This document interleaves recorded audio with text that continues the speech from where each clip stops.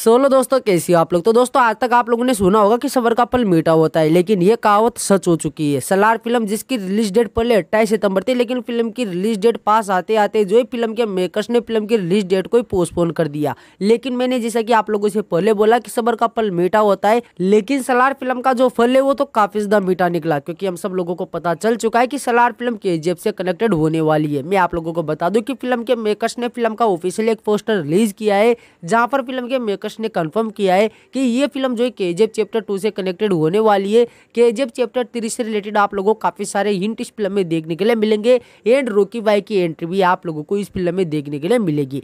इसी के साथ फ़िल्म के मेकर्स ने यह भी कन्फर्म कर दिया है कि ये फ़िल्म जो है 22 दिसंबर 2023 यानी कि इसी साल ये फ़िल्म रिलीज़ होने वाली है सिनेमाघरों में। सलार फ़िल्म के मेकर्स ने जो सलार का पोस्टर रिलीज़ किया है, यहाँ पर आप लोग साफ़ देख सकते हो, यहाँ पर उन्नीस लिखा हुआ है। यानी कि ये फ़िल्म जो है के चैप्टर टू से कनेक्टेड होने वाली है, क्योंकि हम सब लोगों को पता है कि के चैप्टर टू में हम लोगों को जो है उन्नीस और उन्नीस सौ अस्सी, ये दो या तीन साल हम लोगों को स्किप करके दिखाए गए थे। एंड उसी से रिलेटेड ये फ़िल्म हम लोगों को देखने के लिए मिलेगी। Salaar film is the must biggest movie होने वाली है। एंड ये फ़िल्म फ़िल्म कितने सारे रिकॉर्ड तोड़ेगी ये आप लोग कॉमेंट करके मुझे बताना ज़रूर।